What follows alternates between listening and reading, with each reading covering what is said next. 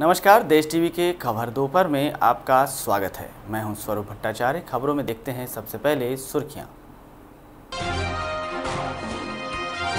मंत्रिपरिषद की बैठक में लिए गए कई अहम निर्णय शिक्षा कर्मियों को दी गई संविलियन की सौगात।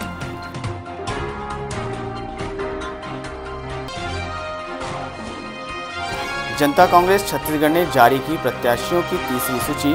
अब तक 36 प्रत्याशियों के नामों की हुई घोषणा।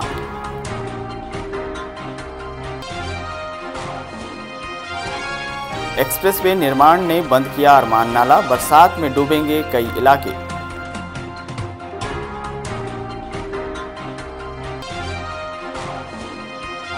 और संपर्क फॉर समर्थन में अब पुराने भाजपा नेताओं तक पहुंचेगा संगठन। संगठन ने बनाई नई रणनीति।